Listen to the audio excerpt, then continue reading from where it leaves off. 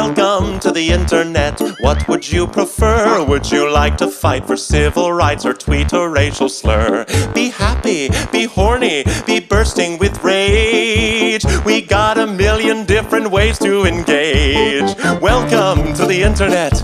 Put your cares aside. Here's a tip for straining pasta. Here's a nine year old who died. We got movies and and fantasy sports and a bunch of colored pencil drawings of all the different characters in Harry Potter fucking each other. Welcome to the internet.